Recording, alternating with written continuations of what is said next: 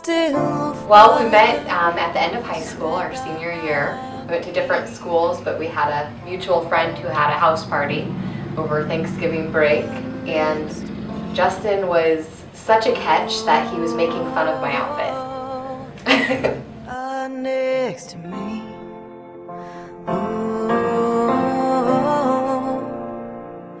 we've been loved. We kind of knew each other as friends for the next year or two after that, probably.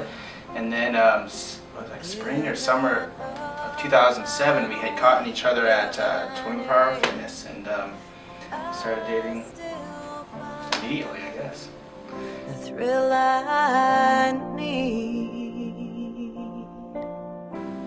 I think I like best that he can handle my goofy side because not a lot of people can rein that in all the time around the clock.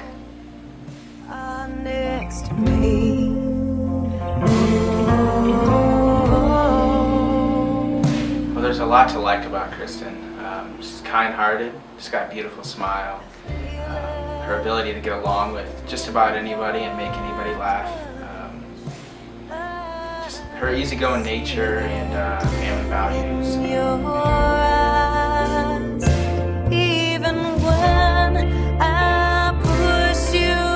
I think I knew almost instantly that we had a connection. Of course, at that age, you're not thinking marriage and the next step, but down the road, it was such a natural fit that things kind of fell into place like they should.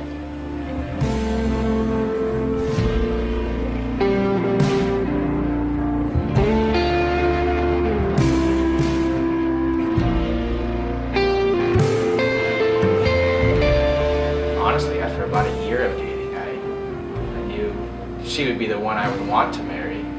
And um, the next year or so, I kind of just kept thinking about it and dwelling on it. And um, about a year and a half ago, I asked her.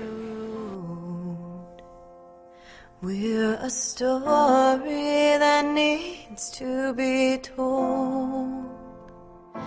I still Um, you guys, thanks all for uh, being here on this special day. I know it means a lot that every one of you can make it out, either from Omaha, 500 miles away.